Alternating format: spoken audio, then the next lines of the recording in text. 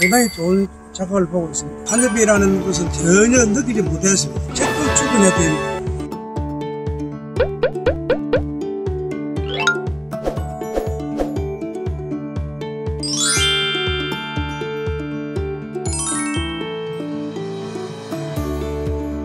수확량이 대단히 증가가 되었습니다. 그리고 탄저병도 없어지고 진딧물 나방도 없고 올해는 상당히 그 고추가 아주 깨끗하고 상당히 좋은 작화를 보고 있습니다.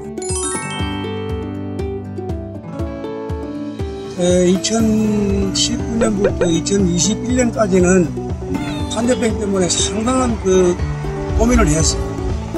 고추 생산을 해도 탄저병이 많이 들어가지고 건조를 시켜놓으면 고추 색깔이 시커멓고 상당히 애로사항을 많이 느꼈습니다.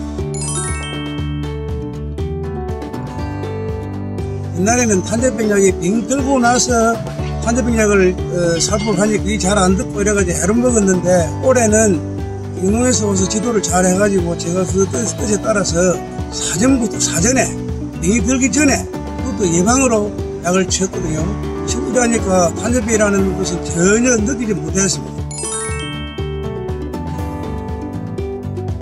여태까지 내가 일반 농약방에 가서 농약 사가지고 이 살포를 했는데 이 제가 재보니까 내년에 보기 드문 그런 착함을 가져왔습니다. 그래서 사람들이 우리 좀 빠주러 와가지고 아니 양이 어떻게 이렇게 농사를 잘 지었냐고 이렇게 하는데 영농에서 주는 세 가지 그 약이 너무 저한테는 딱 맞아가지고 상당히 효과를 받았습니다.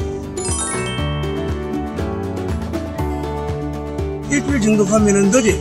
그래서 오후 4, 6일 정도에 약을 맞춰가지고 늘 쳤습니다. 아, 미리 이제 내일 장마 온다 하면은 어, 오늘 좀, 오늘 새벽 좀 이래가 치고, 또 그러고 또 장마 끝나고 나면 바로 또 약을 치고 이래가지고 수확도 상당히 되고, 한진병도 없고, 여러 가지 모든 점이 좋았습니다.